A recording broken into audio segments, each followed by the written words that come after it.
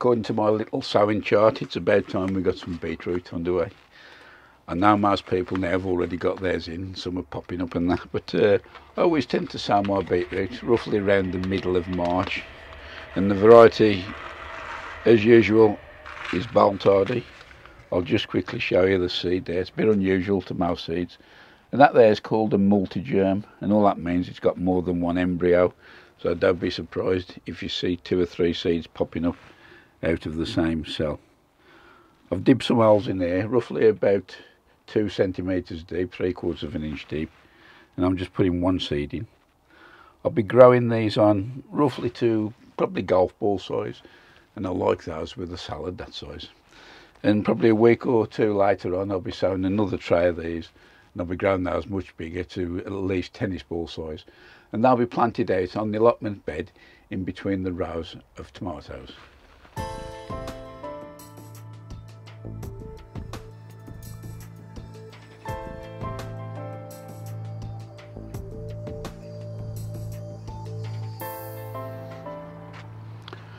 Well, that was a snapshot of the allotment in its current status.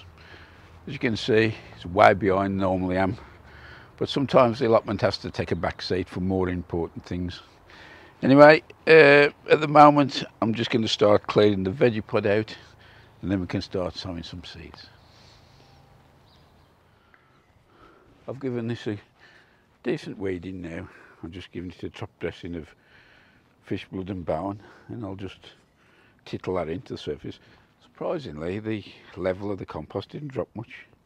But saying that there's quite a bit of moisture in here. So uh, I'm going to say tittle this in.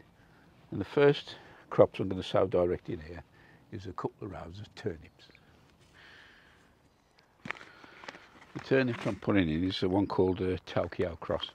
I'll put a little couple of furrows in with my hand and I'm just going to broadcast sow them in the drill. I'll just go along there.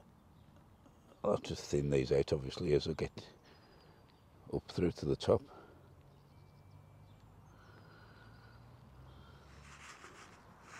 Another crop we can get in at this time of year is a couple of rows of radish. These will be up quite quickly. Temperatures at night are still well now six, seven degrees, although we have had the odd one or two where it's over two or three degrees. But at the moment, this top will be okay. But if it does get too cold, we can pop the plastic cover on. As well as closing the lid, there I noticed there's a little tear in the cover there. Considering this cover's about, I think it's four or five years old, that'll see me out definitely for this season and I'll probably order a new one come the end of the year.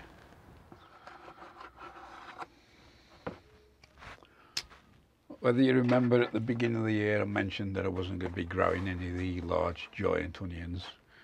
Well, instead of growing any, I've bought some from uh, DT Brown here.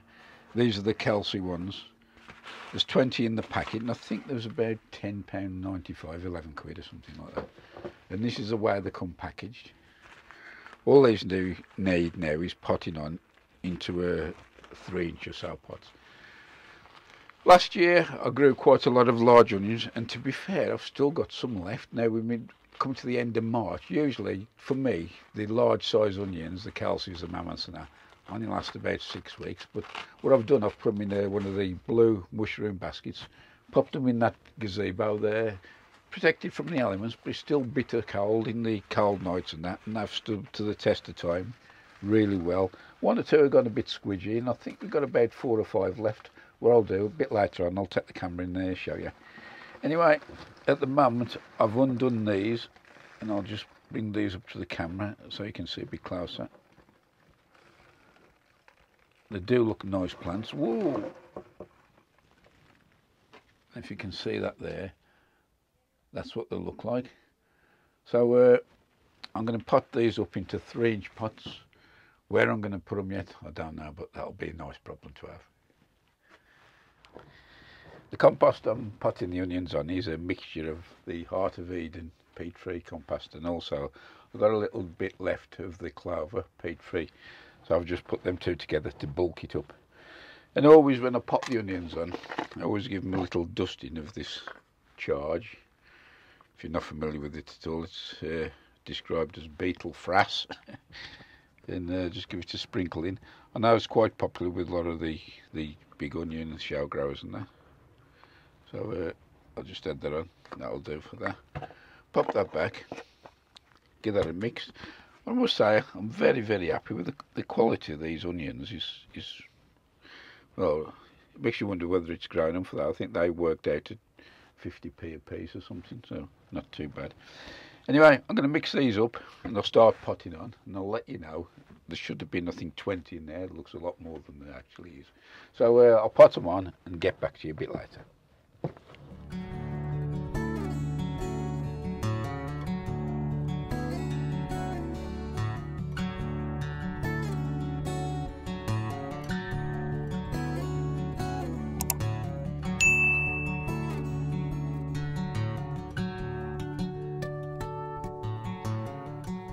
Out of those 20 plug plants I managed to rescue 31 which makes them even better value for money.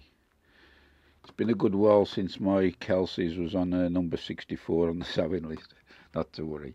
These are in the Vitopod and more or less left to their own devices now. The Vitopod is on a timer which comes on at 7 o'clock in the evening till 7 in the morning and the temperature kicks in round about I think it's 12 degrees. So I think they should be unheated for most of the time. I'll give these a couple of weeks in here and then move them down to the allotment greenhouse if I can find some room that is. So here we are in the gazebo. If you just have a quick look in here, I've got one, two. These are some little the eight inch jobs. These are me shallots. These ones, uh, I think these are the Lister, and them still good. I've got one sprouting, but them are nice and firm. What I've got left of the old uh, big onions there, that one's gone a bit squidgy as you can see, but still, these are still fairly good. So I've probably got about five usable there. Them are the Kelsae type. It's about time I started having a look at this Vegega raised bed now. This is uh, 8 foot by 2 foot in Albany and the plan is for it to eventually go down the bottom and put the autumn fruiting raspberries in. So it's held up all over the winter, not a mark on it. I've got a video where I've done a build on this. I'll put a little link up in the corner and also one down below. So I'm going to tidy, get all the rubbish out of here and clean the space down the bottom and then I'll bring you back. These are the raspberries at the moment. They're all in small little buckets. The variety is Autumn Bliss. I'm going to move them and clear this soil out, but I reckon they've took root through the bottom. So here we are a few days later, as usual, the weather kicked in. I've tidied this up now, got most of the weeds out, and there's a lot of stray raspberries as well. So that's more or less levelled off. And these are the raspberries that are going in. These are in uh, 12 buckets. First of all, I want to get the Vegega frame in and see about sorting it out and making it mold proof. So the next stage of the mole deterrent, I've lined the bottom with some fine uh, chicken wire and uh, I've just curled the edges up so it blocks all the gaps. I'll pull it from the outside and you'll have a difficult job getting through there. So first of all now I've got some old branches from the apple tree, I'm going to put them into the bottom and then put a good layer of wood chip on. So that's the first barrel load of uh, wood chip in. I'm just going to put the same again in here. Then we'll get another layer of uh, horse manure just on the top. I'll then start putting the raspberries in and then we'll top it up with some spent potato compost.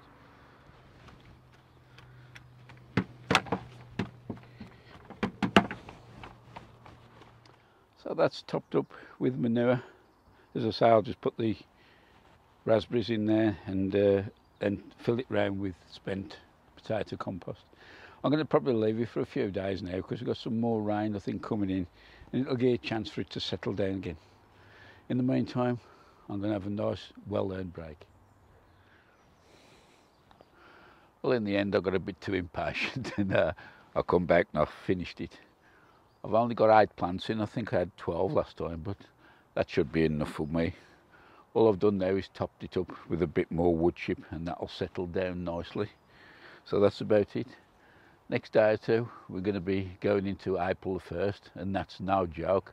I still haven't got the potatoes in yet so that'll be probably one of the first jobs in the next video. So until then, stay safe all, see you later and bye for now.